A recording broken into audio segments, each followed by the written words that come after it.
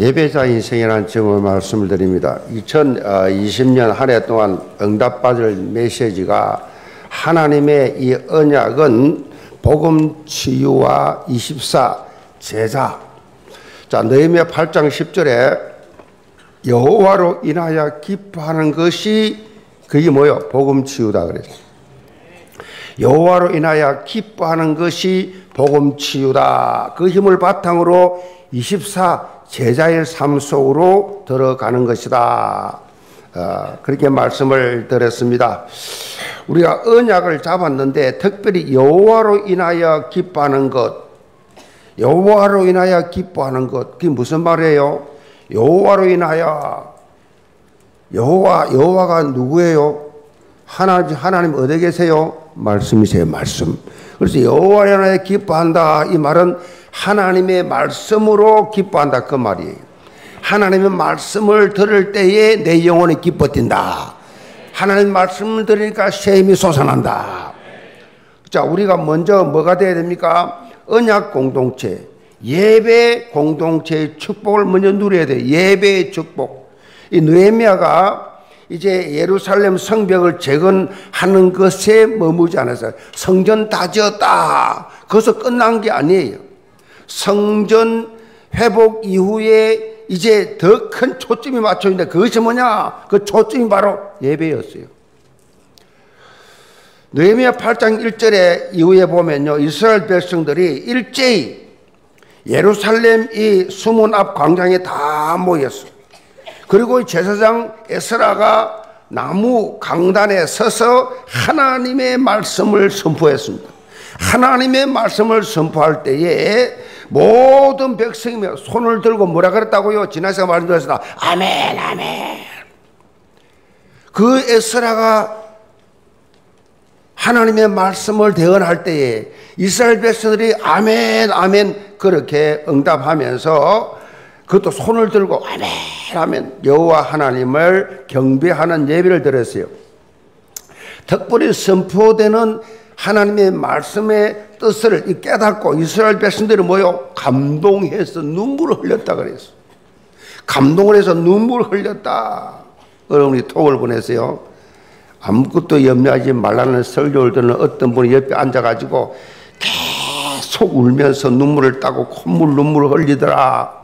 그 물어보니까 저 여의도 교회를 다녔는데 우리 교회 온 지가 자발, 자, 자발적으로 왔는데 혼자 교회를 다녔는데 이 교회를 다녔는데 그렇게 눈물 콧물 흘리더라. 그 누군가 그걸 보냈더라. 그래서 눈물 콧물 흘린 것도 감사하지만은 마음에 뜨거운 감동이 더 큰 것이다. 그래서 눈물을 흘려. 이 이스라엘 백성들이 포로로 잡혀가서 포로생활을 하면서 하나님 말씀을 못 들었어.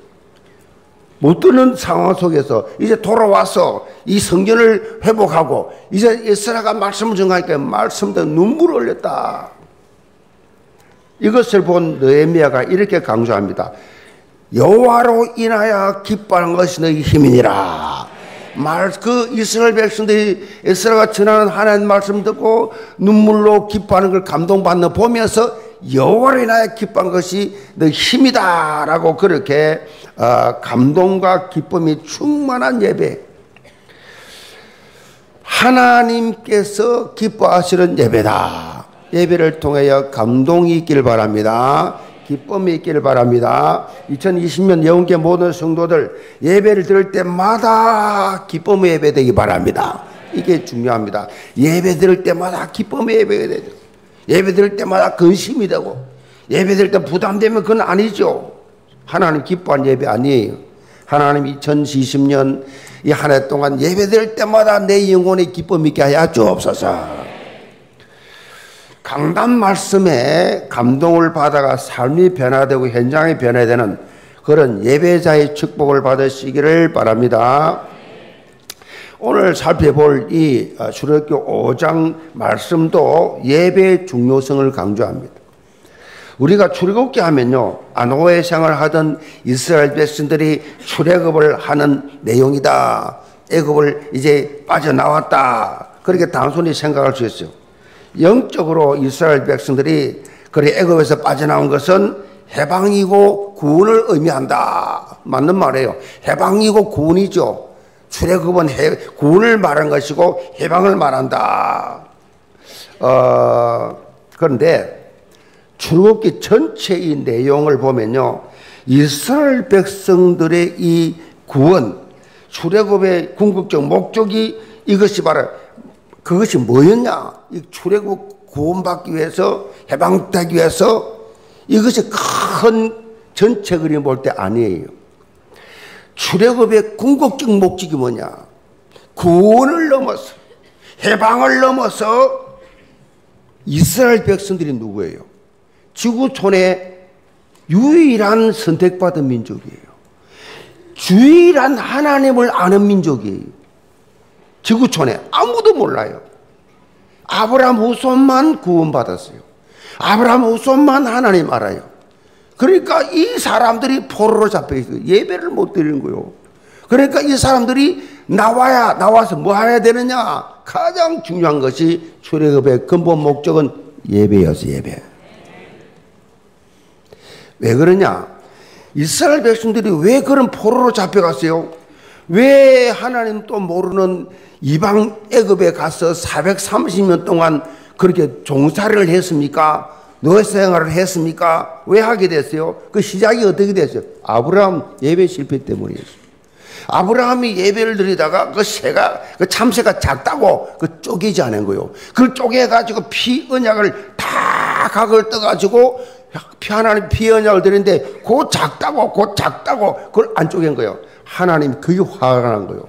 너희 후손이 너 예배 피 언약 피그 쪼개지 않다고 작다고. 그래서 하나님 그때 말했어요. 너 후손이 400년은 나를 알지 못하는 이방에 가서 종살이 할 것이다. 예언해 버렸어요. 예배 실패한 것이. 여러분, 여러분의 지금 기도 제목들이 많이 있겠습니다만은 이 세상에서는 왜 목사님은 하나님의 나라 천국 찬양 부르고 이렇게 땅 끝까지 보험 2, 3, 7 나라 떠드는데 나는 왜 나는 내 문제 걸려가지고 나는 왜 이렇게 복잡하고 왜 이렇게 힘들게 어렵게 생활하고 있냐? 여러 가지 여러분이 문제를 보겠지만 딱 하나밖에 없어요. 예배 성공하시 바랍니다 예배 시간이 기다려지고 예배가 축제가 되고 예배 시간이 여러분이 영혼의 정말 기쁨이 되면 끝나버립니다. 다른 거 다 막 가난해도 관계없고 병에도 관계없고 뭐 사람 말 관계 전혀 상관없어. 예배 성공한 사람은요 아무 상관없어. 전혀 지배 안 받습니다. 오늘 본문에 보면 하나님의 부르심 앞에 그렇게 변명하고 회피로 일삼던 이 모세가 드디어 갱신해가지고 자신에게 주어진 사명을 감당하는 장면이 나옵니다. 애굽 왕 바로에게 서게 됩니다. 바로에게 선다. 막 그때 애굽 왕은 무조건 이름이 바로예요. 바로. 막 전에 바로 다 죽었고 또 새로 바로예요. 그러니까 계속 이름은 애굽 왕은 바로거든요. 이 바로 왕 앞에 선다 그 자체 왕 앞에 선다는 그 자체 그 자체가 두려운 거요. 왕 한마디면 막 바로 바로 그 자리에서 죽음이 오는데요. 얼마나 두렵습니까? 그런데 이 모세가 처음 했잖아요. 하나님이 함께 하신다라는 확신이 있었어요. 그리고 자신의 형 아론과 함께 담대히 나간 겁니다. 그리고 자 이들이 이제 바로에게 예, 한 본질적 요청이 뭐냐? 요청이 하나요. 예배, 예배. 우리가 광야로 사흘 길쯤 가서 우리 하나님 여호와께 제사를 드리려 하오니 가도록 허락하소서. 제사를 드리겠다.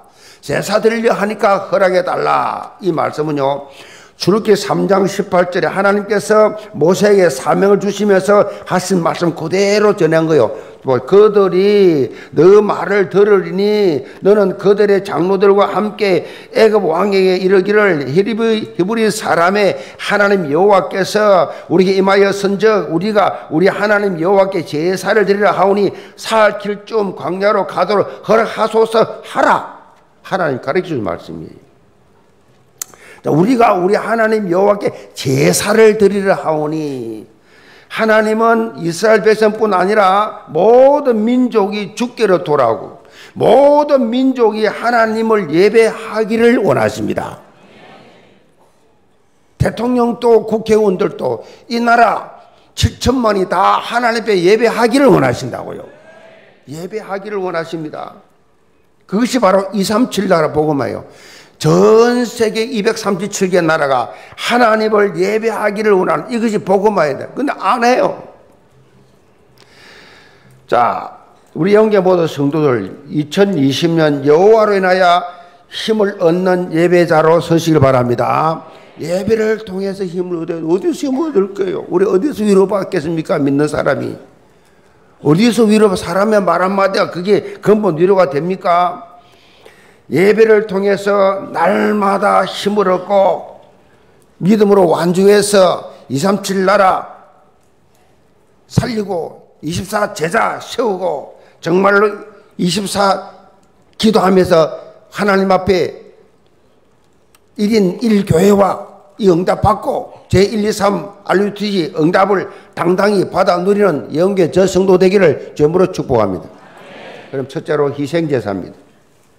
자, 1절에서 3절 봅니다. 그 후에 모세와 아론이 바로에게 가서 이르되 이스라엘의 하나님 여호와께서 이렇게 말씀하시기를 내 백성을 보내라 그러면 그들이 광야에서 내 앞에 절기를 질 것이라 하셨나이다. 바로가 이르되 여호와가 누구이기에 내가 그의 목소리를 듣고 이스라엘을 보내겠느냐 나는 여호와를 알지 못하니 이스라엘을 보내지 아니하리라. 그들이 이르되 히브리인의 하나님이 우리에게 나타나선즉 우리가 여 광야길로 사흘 길좀 가서 우리 하나님 여호와께 제사를 드리려 하오니 가도록 허락하소서 여호와께서 전염병이나 칼로 우리를 치실까 두려워하나이다.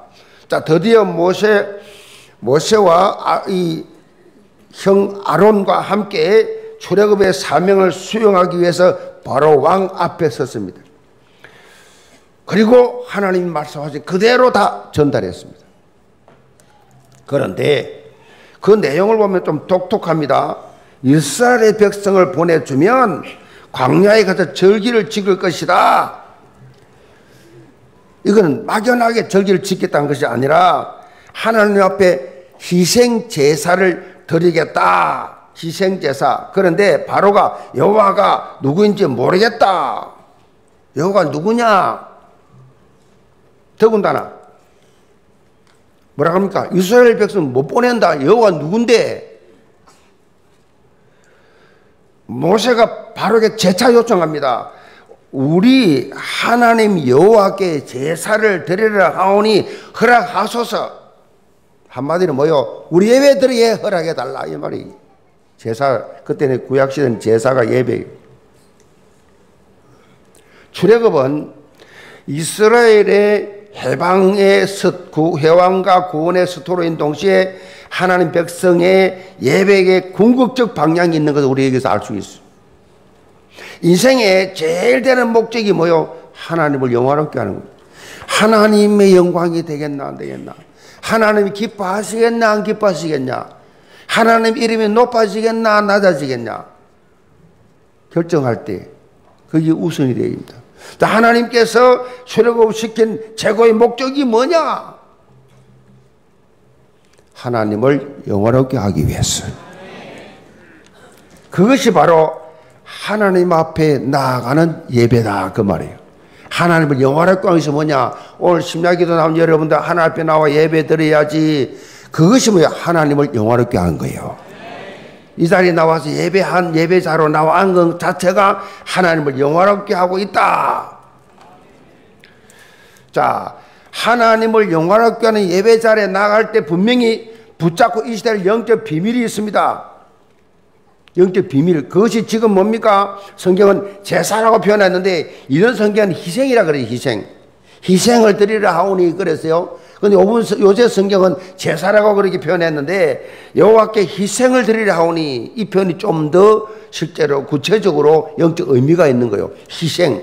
우리가 하나님 앞에 예배자로 설 수 있는 기준이 바로 뭐요?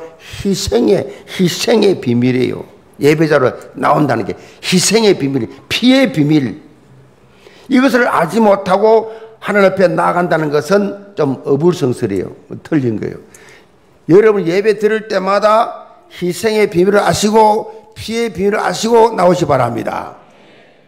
구약 시대는 하나님 앞에 나아갈 때 반드시 자기를 대신하는 희생 제물을 가지고 나갔어.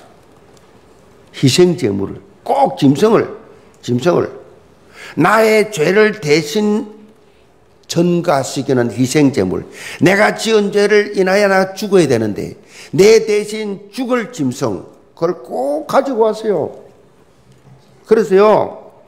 이 명절이 되면요. 전 세계에서 디아스포라들이 예루살렘 성전에 하나밖에 없기 때문에 아, 옵니다. 올 때 어떻게 오느냐? 외국에서 와도 전부 다 성전에 들어올 때는 희생 제물 들고 가야 돼요. 주로 양입니다. 주로 양. 양을 다 가져가고 뭐 합니까? 죄 사함을 받아야 돼요. 제사장이 짐승의 머리에 손을 얹고 기도합니다. 하나님 아버지, 이 사람이 지은 모든 죄를, 죄의, 죄의 대가는 죽음인데, 죽음의 이 대신 하나님이 약속하신 이 희생제물 앞에 이 모든 죄를 전가식입니다. 이 사람의 죄를 용서하여 주옵소서. 그러면서 이 제사장이 왕의 목을 탁 칩니다. 목을 탁 치면 피가 쏟아지면 그 피를 가지고 하나님 앞에 들어가는 겁니다. 이 사람의 죄를 용서해달라. 대제사장이 들고 들어갑니다. 그것이 희생 제물이에요. 아무도 한 사람도 그냥 오는 사람이 없어요. 희생 제물을 다 그렇게 들고 와야 돼요. 자기 죄를 대신하기 위해서. 그런데 하나님께서 내 모든 지은 죄 매 일매일 들고 나와야 돼. 매주 가지고 나와야 되는데 그걸 어떻게 감당합니까? 그래서 예수 그리스도께서 희생제물이 되셨습니다. 우리 대신해서 우리 대신에 우리가 잡아야 될 양 대신 어린 양 예수. 이제는 우리가 짐승의 피가 아니고 예수 그리스도의 십자가 희생의 피를 들고 오는 것입니다. 그래서 교회 나올 때마다 여러분이 나올 때 예수 그리스도의 십자가의 피로 피를 의지하고 나오시 바랍니다. 주님이여 한 주간 지언제 알고 지언제 모르고 지언제 예수 그리스도의 십자가의 피로 뇌제를 사여 주옵소서. 그 희생 제물이죠. 그 들고 온 거예요. 예수 그리스도의 십자가 피, 예수 그리스도의 희생 제물.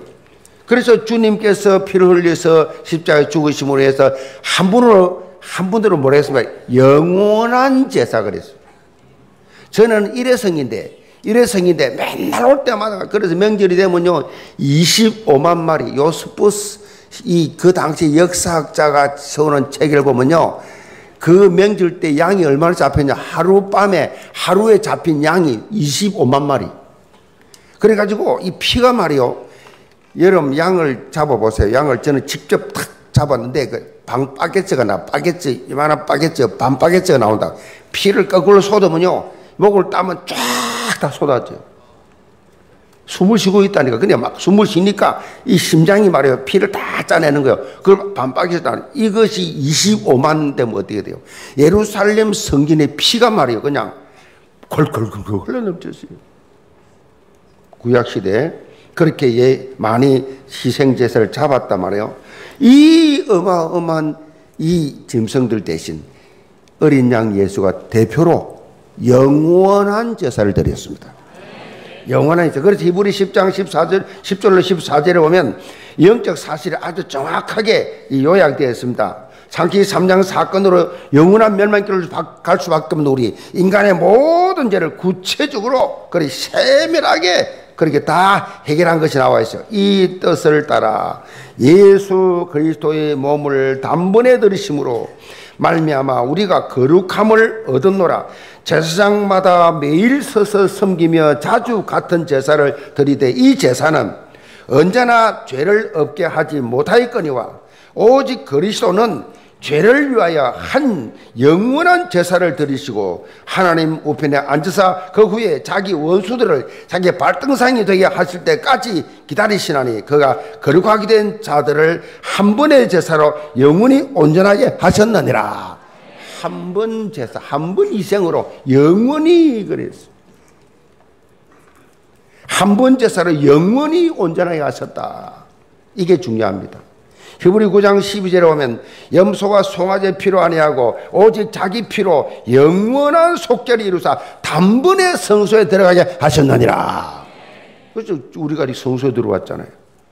전에는 지성소와 성소가 갈라져 성전이 구약시대에 지성소는 대제사장만 들어가 대제사장만 1년에 한 번 들어가 성소에서 놀아 성소에서 이방인은 이방인 떨어서 놀아 그러니까 바, 들어가는 방이 달랐어요 지금 우리가 어디 들어왔냐 지성소 들어왔 지성소 그래서 예수님 십자가에서 다 이루었다 할 때요 이 가죽 말 가죽으로 이 지은 이 천입니다. 지성소와 성소 칸을 쫙 옛날에 예수 하나님 그렇게 만들어서 성소 지성소를 직접 다 설계하신 분이 하나님이세요. 하나님 이렇게 만들어 모세기 지시해 가지고 만들었는데 다 이룰 때할때 이 지성소 성소를 막고 있던 이 막이 말이요 말 가죽으로 된 건데 쫙 갈라졌어요.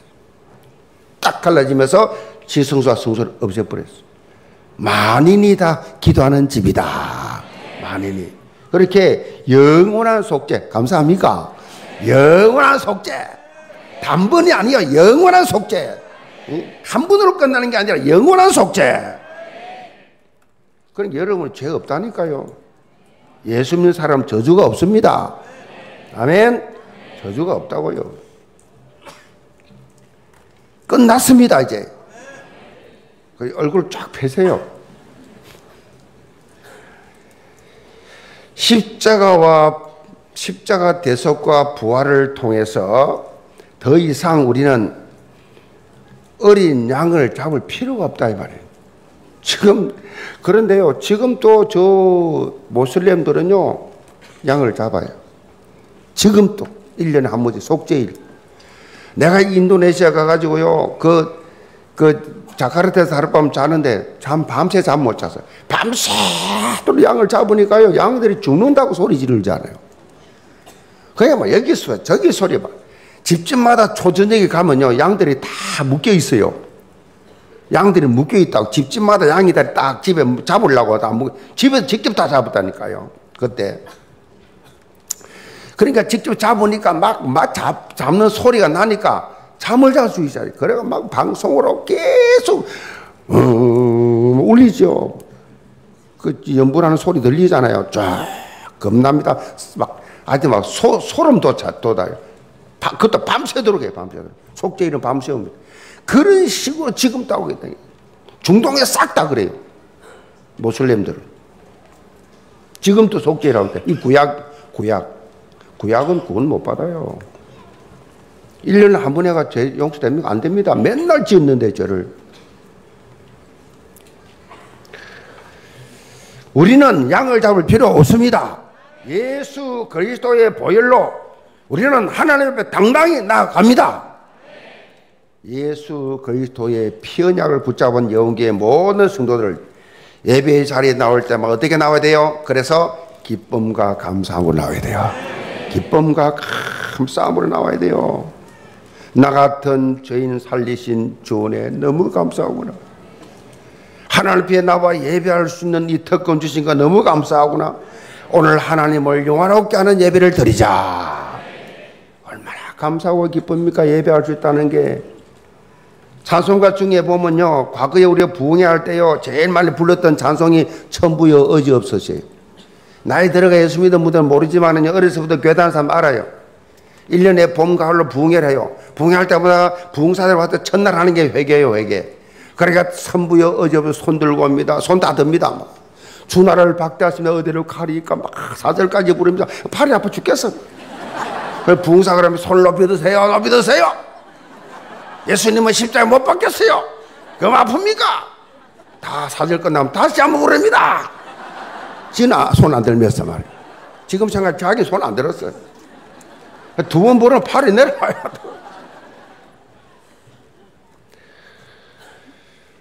천부여 어지없어 손들 가면 추운 날을 외면하시면 어디에 가리까? 어딜 가기 어디를 가?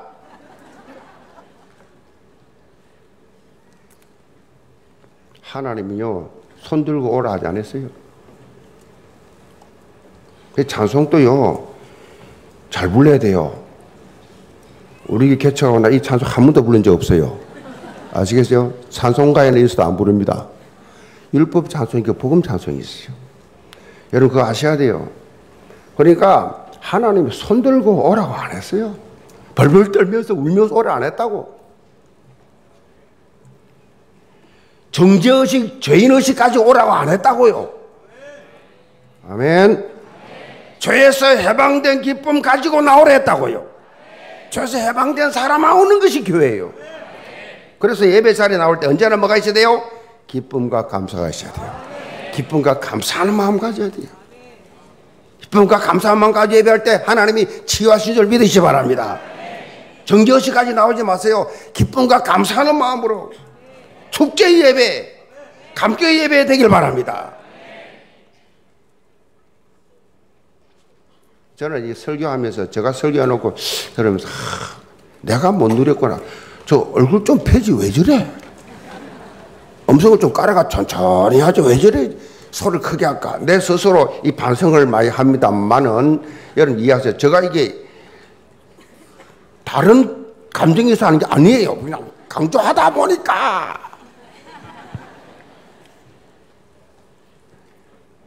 제 마음은 늘 축제예요.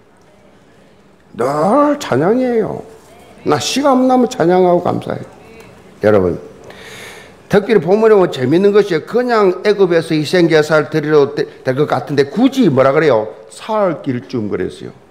사흘 길쯤 가게 해달라.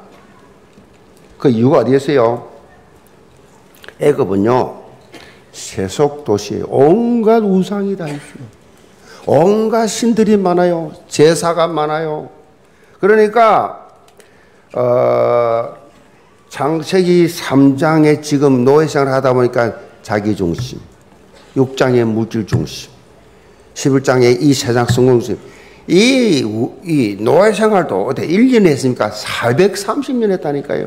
그러니까 체질화, 체질화. 애고 문화가 체질화되어 있다고. 하나님 없는 문화. 다시 말하면 뭐요? 인본주의 현장이. 여러분 우리가 사는 세상이 그렇습니다. 우리가 산 애급 현장이에요. 우리가 사는 게 세상이 애급이거든. 애급 현장이 온갖 그냥 창세기 3장교 11장으로 범벅이 돼 있어. 거기에 우리도 말려 들어간다니까 우리도 모르게 나중식, 물질중식, 성공식으로 나도 모르게 그냥 말려 들어가 그 문화 속에. 그게 한마디로 뭐예요? 인본주의 현장이에요. 인본주의. 인본주의 반대가 뭐예요? 신본주의예요. 인본주의는 하나님이 없어요. 아시겠어요? 삶에 하나님이 없어. 잊어버려. 하나님이 없어. 잊어버려. 완전히 인본주의 불신자처럼 살아. 그게 애굽 문화에 젖어버린 거예요. 세상 문화에 젖어버린 거예요. 무슨 말입니까? 예배 드릴 방해 요소가 너무 많다. 이 말이에요. 그래서 사흘 길입니다. 그래서 광야로 나가 사흘길 쭉 떨어져서 진짜 온전한 예배 드려라. 다 내려놓고. 예배 드릴 때요, 예배당이라고 하는 이 장소가 중요합니다. 장소, 이 장, 예배당 장소. 여기에 들어오면요, 다른 거 신경 쓰지 않고 온전히 예배에 집중할 수 있어야 돼요. 사흘길 쭉. 교회가 좀 멀다고 했어요. 여러분 멀다고 생각하지 마세요. 사흘길이라 사흘길.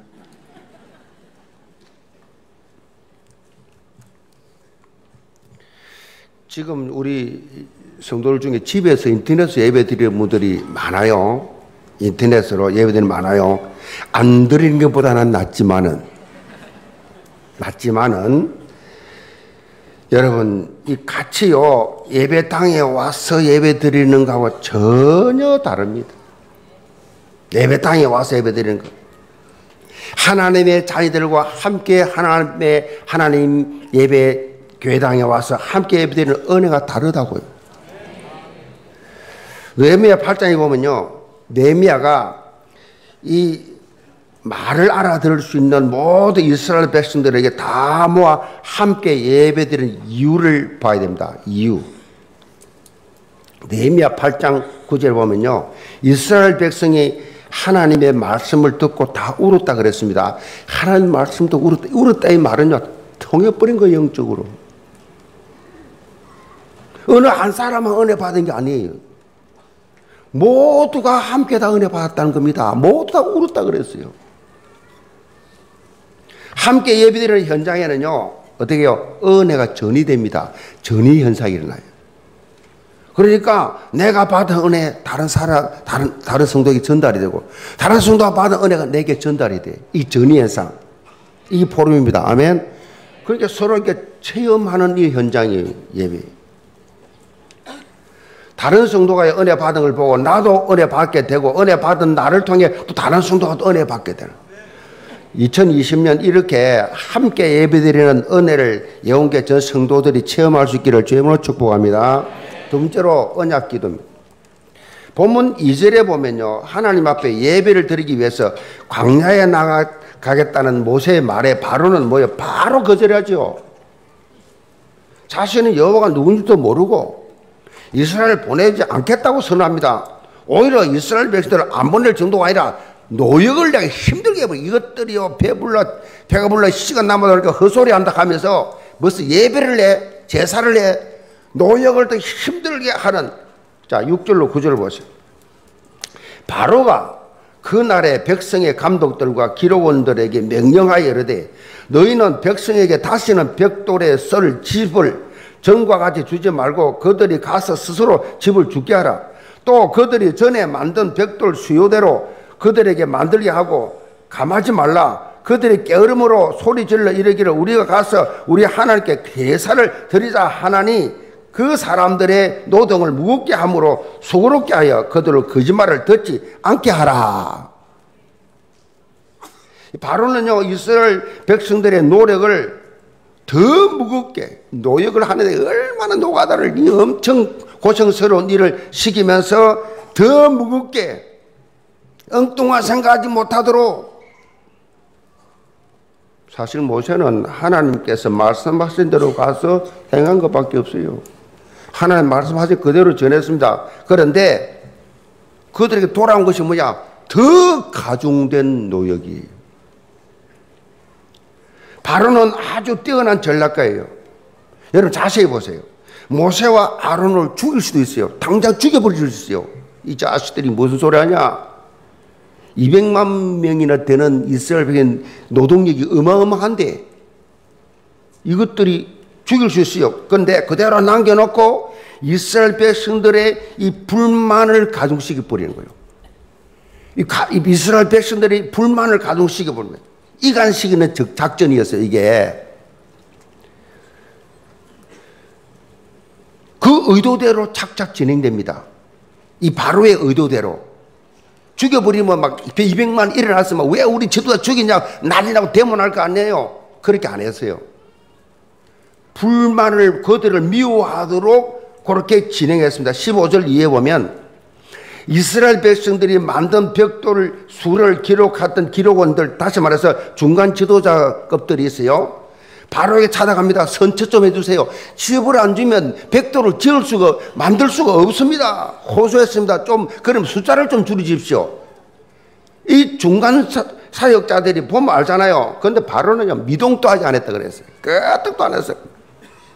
그런데 아무런 소득도 없이 왕궁을 나오는 이 길거리에서 이 중간 사역자들이 보, 막 보고를 해도 전혀 뭐 캔슬 당하니까 이들 나오다가 누굴 만났냐? 모세와 아를 만난 거예요. 좋은 말 하겠습니까? 너희들이 먼데 가가지고 쓸데없는 소리 해가지고 우리 백성들 이렇게 더 고생시키냐? 원망불평했어. 막 퍼부었습니다. 자, 이런 상황 속에서 모세는 하나님 앞에 무릎을 꿇습니다. 22절입니다. 모세가 여호와께 돌아와서 아뢰되 주여 어찌하여 이 백성이 학대를 당하게 하셨나이까 어찌하여 나를 보내셨나이까 내가 바로에게 들어가서 주의 이름으로 말한 후로부터 그가 이 백성을 더 학대하며 주께서도 주의 백성을 구원하지 아니하시나이다 지금 보면요 이스라엘의 기록원들이나 모세가 똑같이 지금 원망과 불평을 하는 것처럼 보입니다. 똑같이. 그런데 한 가지 중요한 차이점이 있어요. 자, 문제와 사건 앞에 누구 앞에 무릎 꿇느냐 합니다, 지금. 누구 앞에? 이스라엘 백성들은 바로왕 앞에 무릎을 꿇고 이 중간 지도자들은 바로왕에게 찾아가서 바로왕에게 무릎 꿇는 문제 해결해 달라고. 사실 이스라엘 백성들은요, 출애굽기 4장 27절로 30절에 보면 이미 모세와 아론을 통해서 하나님의 출애굽 언약을 전해 들었습니다. 그럼에도 불구하고 하나님을 찾지 않고 인본주의적 해결 방법을 택했습니다. 이게 중요합니다. 결과적으로 찾아온 게 뭐예요? 더 큰 실망이에요. 더 큰 좌절뿐이에요. 그런데 모세는 이 사람들과 달랐습니다. 똑같은 원망을 하는데 달랐어요. 모세는 뭐요? 오히려 원망, 모두 원망과 불평을 한목에 바랐는데 모든 그것을 가지고 어딜 갔어요? 하나님 앞에 갔습니다. 하나님 앞에. 거기서 답을 찾으려고 했다면 하나님 앞에 답을 찾으려고 사람들 찾아간 것이 아니라 이런 영적 자세가 중요합니다. 자, 여러분 앞에 어떤 문제와 사건이 그렇게 생기거든 여러분 선택할 최선의 해결 방법이 뭐냐? 하나님 앞에 무릎 꿇는 겁니다. 하나님 앞에 꿇고 하나님 앞에 내놓고 하나님 앞에 물어보고 하나님 앞에 해결 받으시 바랍니다. 그게 중요해요. 그래서 아무것도 염려하지 말고 오직 기도와 간구로 아멘. 아무것도 염려하지 말고 기도 자러 나가라는 얘기예요. 기도, 기도. 그 기, 개인 기도 그리요. 우리 교회가 여기 20개나 있어요. 옆에. 쫙 있어요. 사무실에 가서 개인 기도 접수 하나님 앞에 막 통곡해도 되고 금식해도 되고 하나님 앞에 그냥 시금을 전파하고 철학기도 해도 되고 혼자서 얼마든지 할 수 있어요. 하나님 앞에. 기도자는 나가라. 그럼 문제 오거든 빨리 여러분 영적 해석해 가지고 뭐 해야 돼요? 기도해 하시 바랍니다. 아, 기도하라고 말씀하시는 거구나. 내 기도해야지. 자, 무엇보다도 어떤 상황, 환경에도 영향받지 말고 하나님의 말씀을 온전히 믿으시 바랍니다. 하나님 말씀 믿어야 돼요. 푸른 마르고 꽃은 시드나 나의 말씀은 영영이 서리라. 영원히 섭니다. 언약 붙잡고 기도하면 돼요. 그러면 하나님의 평강이 그리스도 예수 안에서요. 우리 마음과 생각을 지키시리라. 마음 생각이 중요하잖아요. 마음 먹은 대로 움직이잖아요. 생각한 대로 가잖아요. 마음과 생각을 지키시리라. 이 체험이 있어야 돼요. 마음과 생각이 하나님께서 인도하시는 성령 인도가 돼야지. 세상 인본주의 방법 때문에 되는 것 해도 안 된다 말. 그래서 이런 사람에게 뭘 주시느냐? 내 영혼 평안해. 아멘. 내 영혼 평안해요. 여기 스트레스 없어요. 여기 불안, 초조, 염려, 세기 질도 없어요. 내 영혼 평안해. 자, 2020년 예언계 전 성도는 이런 언약 붙잡고 기도 가운데 평강을 누리는 복음 치유의 이 삶을 모든 현장마다 일어나기를 주의 이름으로 축복합니다. 결론입니다. 어떤 주일학교 선생님이 성경 공부를 시작하면서 아이들에게 이런 질문을 했습니다. 얘들아, 너희들 오늘 교회 들어오면서 무엇을 느꼈니? 라고 질문했어요. 그때 하나가 기다렸다는 뜻이 선생님, 저는 교회 들어올 때 하나님의 품에 안기는 것이 들어왔어요. 그렇습니다. 여러분이 신앙생활부터 교회 들어올 때, 교회 들어올 때 다른 거 다 내놓으세요. 2020년도에 교회 나올 때마다 성전에 들어올 때마다 주님의 품에 안기듯이 주님의 품 속에 들어오듯이. 아멘. 주 안에 들어왔어. 다른 거 아무 생각이 없고 다 사단이 뿌려놓은 가라지예요. 사단이 뿌는 가라지입니다. 여러분 주님의 품 속에 깊이 들어오시 안기듯이 들어오시기 바랍니다. 이런 감동 그래서요 하나님이 주시는 이 언약을 실제로 체험하고 믿음에 완주하는 그런 24제자로 당당히 서기를 제물로 축복합니다.